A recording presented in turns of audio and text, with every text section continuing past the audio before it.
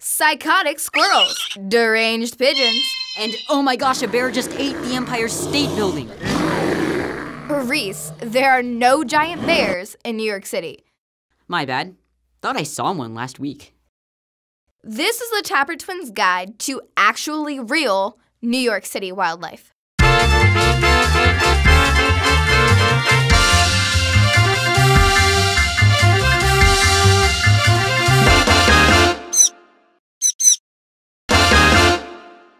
Hi, I'm Claudia Tapper, the mature and responsible half of the Tapper Twins, and the author of these books. and that's my twin brother, Reese. Now, even though we don't have a skyscraper eating bears, It'd be totally cool if we did, though. there's a ton of wildlife here, like cockroaches.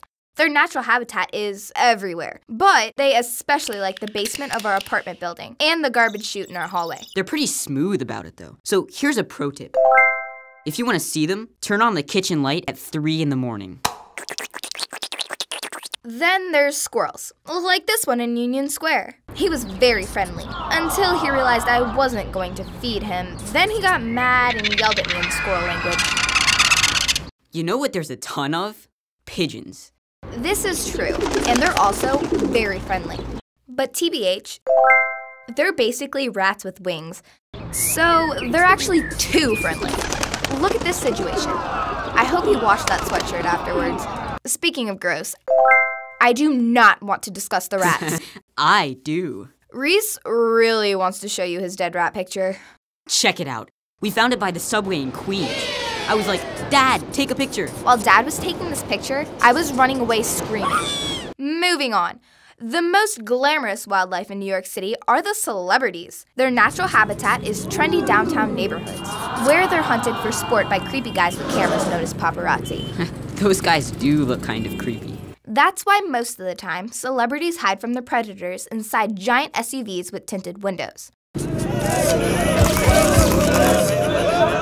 But sometimes, you can catch a glimpse of one in the wild, like when they're shopping in Soho. Since you want, come on now, keep moving. I saw Taylor Swift buying a hot dog at Shake Shack. No, you didn't.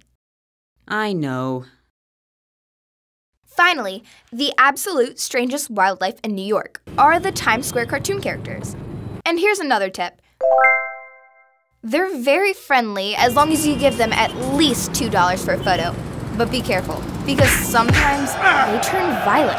Oh, snap. What was that about? I have no idea, but I figured as long as it was happening, I should take pictures.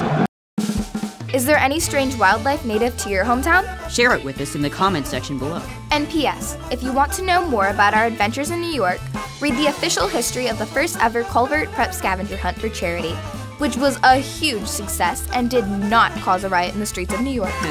That's not what the newspaper article said. that article was not true, mostly, and all the bad stuff was your team's fault. That's cray. We weren't anywhere near that fight in Times Square. Who got locked in the back of a truck headed for New Jersey? Okay, that was me. But the riot was your fault. No comment.